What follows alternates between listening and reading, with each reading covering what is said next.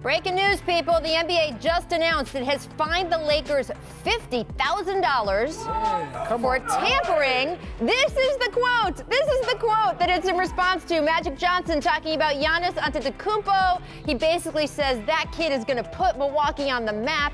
They're going to win some championships there. Brian, is that tampering? Rachel, this is so 50,000? ridiculous because, first off, the comments are benign. Secondly, uh, there's tampering that's rampant in the NBA. It's been going on for a decade, and to slap them on the wrist like this is just asinine. That uh, fifty thousand for just saying they ju- they know that the NBA is rich. I That's know all the it Lakers is. are a, a They repeat know the offender, NBA is but rich. this Meanwhile, is- you said something fifty thousand. Think about the average American. Right. Fifty thousand. Yeah.